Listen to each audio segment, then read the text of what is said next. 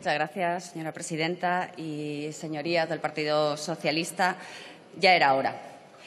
Han tenido que pasar 43 años de la muerte en cama del dictador y más de 20 años de gobiernos del Partido Socialista para que hoy por fin vayamos a votar el fin de una infamia. Somos el segundo país del mundo en número de desaparecidos forzosos.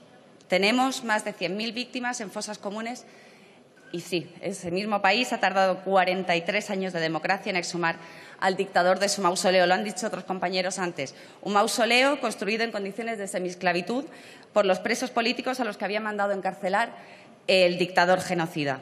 Un mausoleo con una cruz espada de 150 metros de alto concebida para ser vista a kilómetros de distancia y homenajear a quienes lucharon de la mano de Hitler y Mussolini para derrocar la República concebida para ser vista y concebida para atemorizar. Y ustedes hoy, sí, se deciden por fin a acabar con una infamia y nosotros que nos alegramos, pero una infamia que nunca debió darse.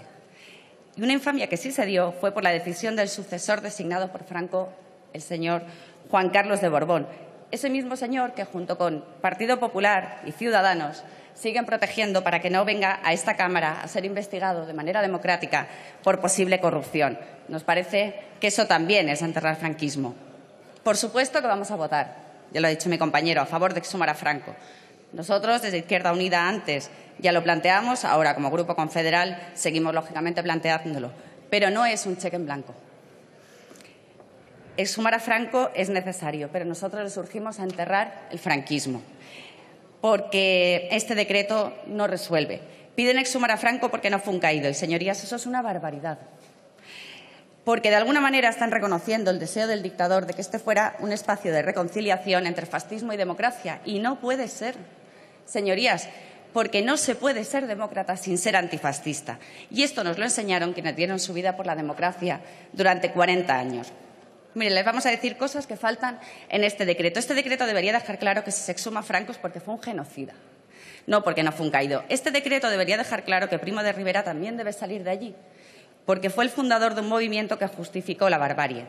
Este decreto debería también dejar claro que los miles de cadáveres republicanos que fueron enterrados allí sin consentimiento de sus familias también van a ser exhumados. Y este decreto también debería dejar claro que una cruz que reivindica una cruzada nacional católica como la que emprendió Franco no puede seguir en pie. Este decreto, en definitiva, debería dejar claro que el valle sí se toca, se desacraliza y se resignifica. Porque mientras la familia del dictador sigue gozando de, de, un patrimonio saqueado, nunca devuelto, y de títulos nobiliarios que ustedes les permiten, ustedes, con la connivencia de Partido Popular y Ciudadanos, miles de familias de este país siguen sin ser reconocidas como víctimas de un crimen contra la humanidad que violó, torturó, asesinó, encarceló y robó bebés durante más de 40 años.